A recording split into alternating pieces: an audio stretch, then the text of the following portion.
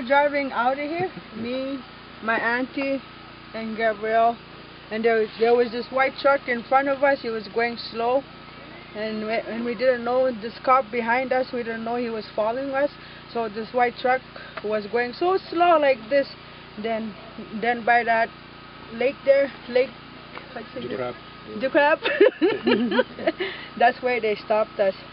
And then we, the police got off off his truck. He was coming like really fast. And then he hit the door like this. Then he, then he went like this in front of the driver's side like this. Wait, I want to talk to you. He said. Was he in uniform? Yeah. No, Yeah. no. He just, just So th- it was an unmarked vehicle, and no, the police officer was not in uniform. no.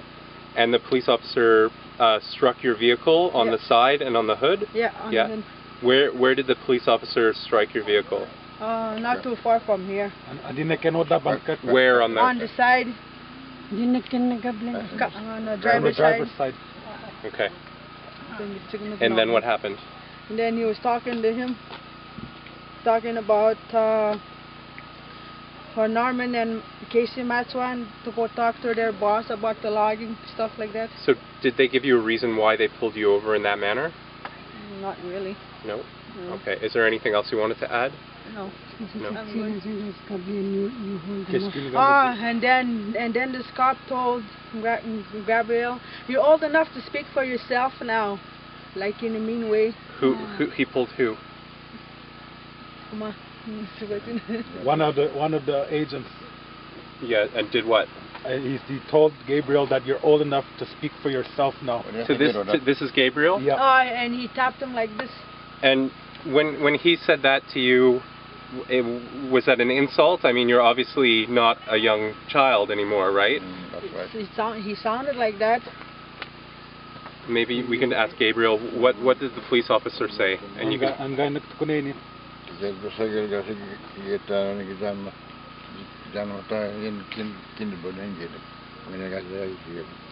I was, he says, I was told that I'm old enough to, to speak for myself.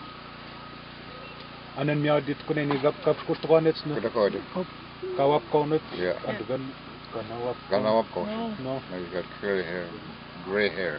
Yeah. Namoko. Okay, he, he, he would recognize the police officer, the, the one that pulled him over, if he sees him again. Um, ask him. Was he discriminated against because he doesn't speak? Uh, he doesn't speak. Uh, uh, Kanske in, något in som Francais? Inte Kan det vara nyttigt? Is he discriminated against because of the language he speaks? Ask him that. Uh, discriminated. Um, Hindi ka di ba niya discriminated? It means uh, racially discriminated. I know, like, how would you break it down so I can Uh, explain it more in Algonquin? So, does he disrespect you because you don't speak the same language as him?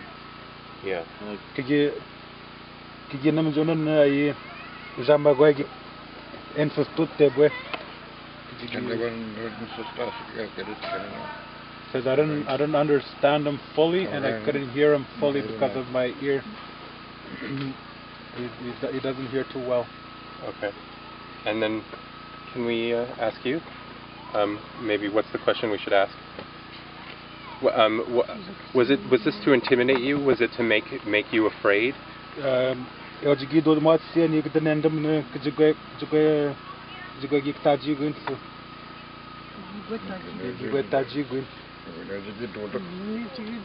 That's that's why they that's why they did that. That's why they were doing that to intimidate us. Yeah.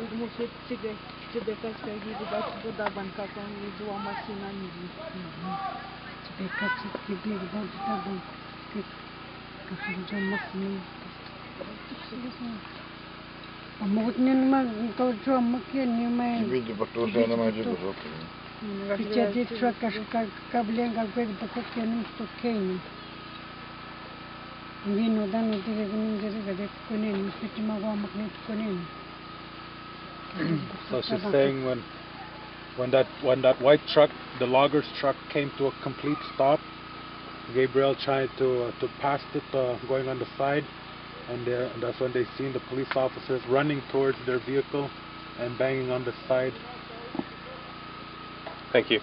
Anything else that we'd like to say?